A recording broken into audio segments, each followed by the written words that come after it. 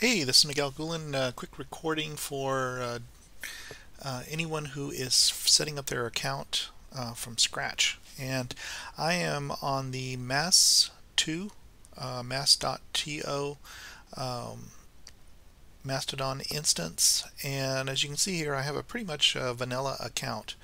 Um, up in the top left-hand corner, I have an edit profile button, and of course I have a blank uh, icon for my profile pic. Uh, so I want to sort of change that and, and update that. So what I'm going to do is click on Edit Profile. And when I go ahead and click on Edit Profile, uh, you'll see that I have pretty much my information here. And what I want to do is just quickly fill in my uh, bio. Um, so I happen to have already typed up my bio. So I'm just going to click in the in the bio box and uh, paste in what I've written. And you'll notice, see if I can make this window a little bit bigger. You'll notice that I have some text up here and then um, I've included some additional uh, hashtags uh, to make it easier for people to find me. Now I can also come in and add a header file. That's going to be this big banner. Um, so I'm just going to come up here and just see if I can find an ocean wallpaper. Oh, that one looks pretty cool. I'm just going to save that one real quick. Some really long, uh, weird number. I'm going to uh, choose file. There it is. Now I have this ocean wallpaper in the background. And I want to go in and choose my avatar. I think I have one just sitting around. Here we go. And there's my avatar. Um, and then I usually leave require follow requests off. And uh, I'm just going to leave the rest of this alone. Now, if I wanted uh, to do verification, I could come back here and adjust that. I'm going to go ahead and save my changes.